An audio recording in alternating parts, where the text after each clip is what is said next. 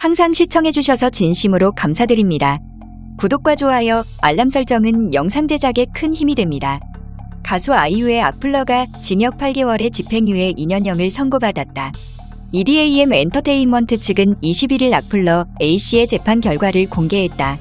A씨는 지난 2019년부터 인터넷을 통해 수십 차례에 걸쳐 아이유에게 악성 게시물을 남겼다. 소속사 측은 가해자를 검거하기 위해 수사기관과 오랜 시간 노력했다며 가해자 신원을 파악하고 범죄 사실을 모두 소명했다고 설명했다. A씨의 모욕죄 및 온라인 명예훼손 혐의는 모두 인정됐다. 법원은 A씨의 죄질이 매우 불량하다는 판단을 내렸고 징역 8개월의 집행유예 2년을 선고했다. A씨는 180시간의 사회봉사 및 40시간의 성폭력 치료 강해 수강 판결도 확정받았다.